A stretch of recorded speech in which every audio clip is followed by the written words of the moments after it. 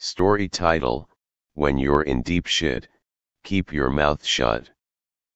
A little bird was flying high on a winter day.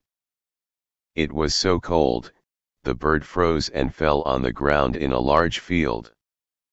While it was lying there, a cow came by and dropped some dung on it.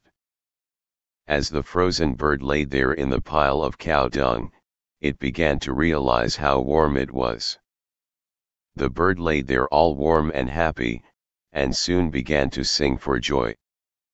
A passing cat heard the bird singing, and it came to investigate. Following the sound, the cat discovered the bird under the pile of cow dung. Cat promptly dug the bird out of the dung, and ate him. Moral of the story. Not everyone who drops shit on you, is your enemy. Not everyone who gets you out of shit, is your friend. And when you're in deep shit, it's better to keep your mouth shut.